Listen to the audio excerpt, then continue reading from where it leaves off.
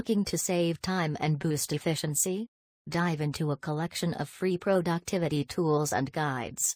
Click the links below in the video description to get your hands on valuable resources for task management, time optimization, and more. Take control of your productivity journey. Click now.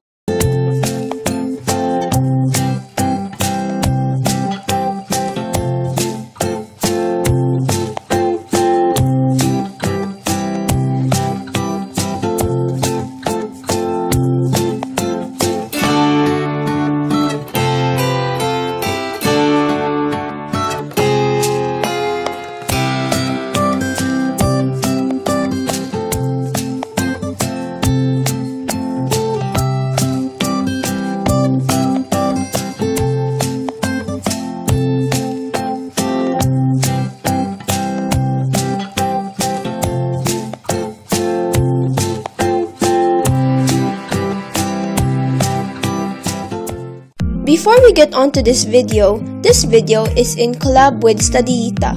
Studyeeta is a study tuber like me and her videos are really nice and really good. So you better check out her videos and make sure to subscribe to her channel. I will leave the link to her channel in the description box and at the top of this video. And make sure also to check out her video with me in collab. My first tip for you guys is to map out when and what time your finals are. So it's good to see which finals comes first so that you will know which subject to prioritize your studying in. My second tip for you guys is to plan your study session. Designate a certain time when you are going to study. I suggest you study during a period of time where you are most productive so that you will be able to learn and retain information better also, be sure not to fill up your schedule with just studying because this will lead to you having a burnout.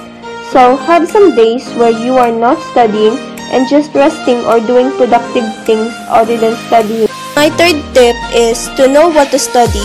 Before you start studying, know what topics are included in your finals. Some professors or teachers will tell you which topics are mostly going to appear during the exam. So make sure you note it because those lessons will be the most important to study if you want to ace your finals. My fourth tip for you guys is to gauge your understanding. Make a list of what topics are included in your finals. Then, beside each topic, use symbols like dots or stars to gauge how much you understand your lesson. For example, 5 dots means you fully understand the lesson, 3 dots means you understand a bit of the lesson but not fully, and 1 is you do not understand the lesson at all. Doing this will help you to prioritize which lessons you need to put more time and effort in studying. My fifth tip for you guys is to use your past papers. When studying for your finals, make sure you use the drills, seat works, quizzes, midterms, and all the worksheets your teacher has given to you because the teacher might ask similar questions in the finals and this is also one way to see if you understand the lesson or not and this can be used as, as a practice test to help you ace your finals. My sixth tip for you guys is to know how to study the subject. Different subjects require different methods to study. For example, math is all about getting a lot of worksheets and using those worksheets to practice until you get everything right. In a way, you just have to understand the concept and use practice worksheets. Biology is all about memorization, so flashcards is the most useful way to study the subject.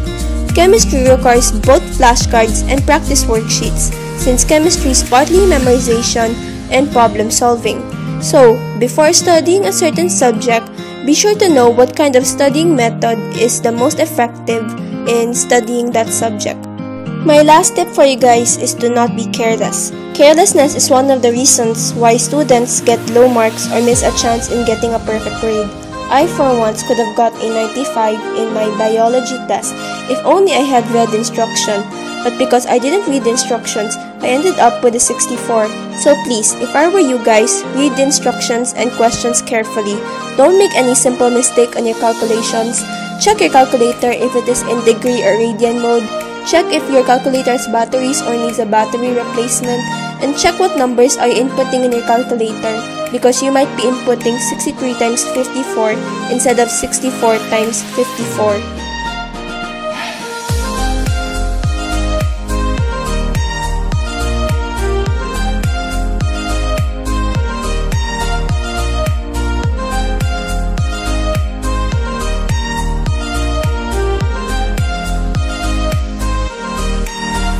Want to maximize your productivity potential?